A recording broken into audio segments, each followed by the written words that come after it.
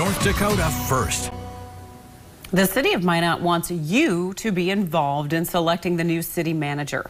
Tonight at 6, you have the chance to ask the three candidates some tough questions. Sean Hennessy, Harold Stewart II, and Ray Agabibiapka are the finalists. Each candidate will have 30 minutes to answer your questions. Mayor Shaun Sipma will be moderate, moderating the discussion tonight.